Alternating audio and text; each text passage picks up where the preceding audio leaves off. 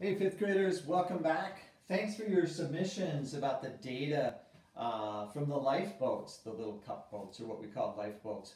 You'll recall our independent variable was the capacity or the size of the boat. We had four sizes.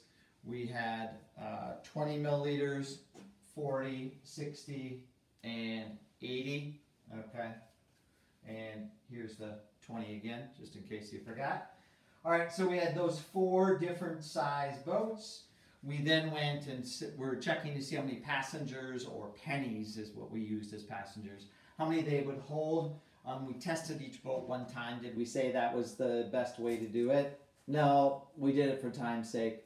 Um, so we tested each one once.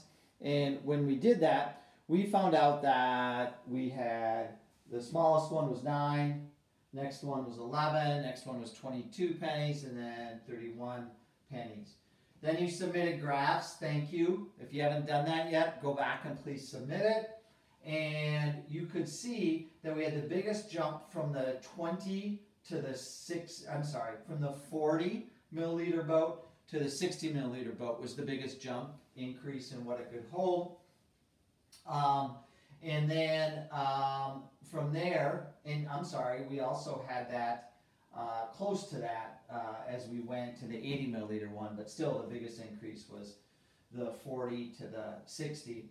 Okay, um, and so you can you went ahead and you connected the dots, and that would help us predict. Like if we made a boat that was 70, that was 70 um, milliliters, the capacity, you know, about how many pennies it would support.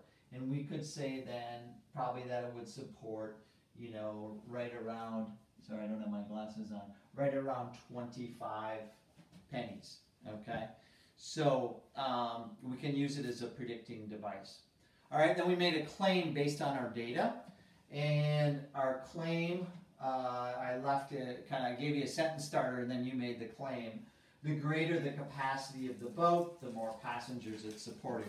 Now we kind of knew that going in, okay? It's like, well, yeah, sure, Mr. Schrankler, it's going to hold less if I make it bigger. Well, we, you know, we knew that, you know, going in. But you have to look at the data deeper and use it as a predicting device. So like I had done, you know, what if we made one that was, you know, 70 milliliters?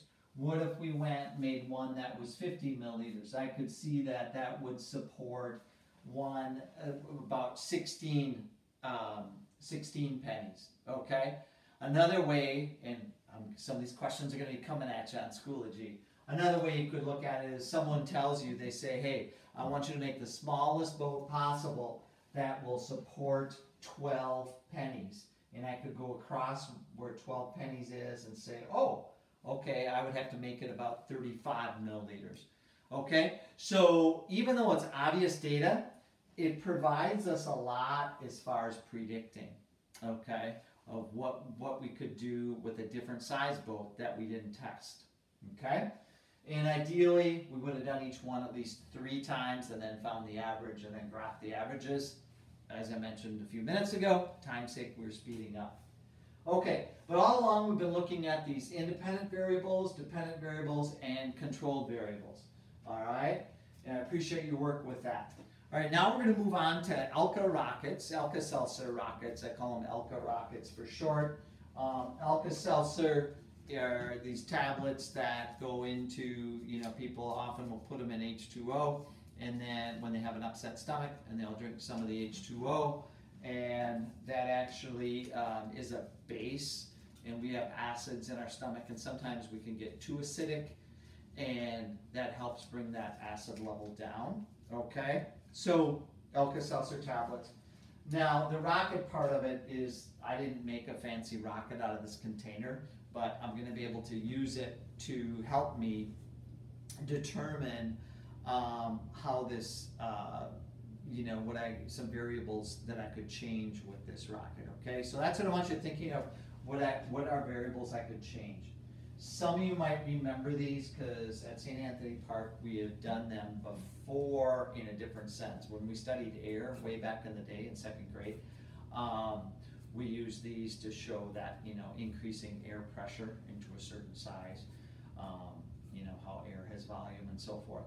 Okay, um, so what we're going to do with these is we're going to be taking a look at them and we are going to use them to uh, come up with an investigation. All right, these containers are from film from cameras a long time ago. Um, for me, this is how we always would have to go get the film developed then after we took pictures and they came in a container like this. Okay? Um, so I actually have to buy these now. I used to get them for free when these cameras were around, all right? But uh, they're hard to find now, so um, I actually have to buy them online. Okay, so uh, I'm going to show you how the rocket works, and I want you to think of what I could change that would affect the launch, okay? And we're going to say, we're going to just come up with independent variables, not dependent variables today. So your goal is to come up with four of them, four independent variables, okay? Four independent variables that would affect the launch of this rocket, what that could change, all right? And it's basically the canister popping off. The science behind it is I'm building up air pressure, okay? So that's what I'm doing. All right, so I'm gonna put some warm H, I'm just putting H2O, room temperature H2O in here, okay? So I put it in this container, all right, like so. And then, uh, remember I said it's all about air pressure, I'm gonna build up air pressure, okay? So I'm gonna drop this tablet in, I'm gonna cap it, okay? I'm gonna put my safety goggles on because this lid kind of flies pretty fast. And so let's check it out here. All right, and there we go. Okay, so you can see the lid popped off. All right, for tomorrow on Schoology, I would like you to put down, list at least four variables of the Alka rocket. Four things we could test or change with the Alka-Seltzer rocket that would impact the launch, okay? And we can think of maybe how far it would go or how long it takes to go off. But I want you to think of the four things you could change about this system.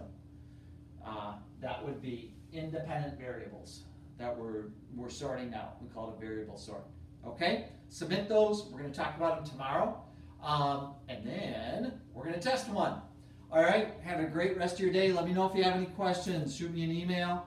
Um, like I said, I can always set up a Google Meet um, in addition to our whole group one.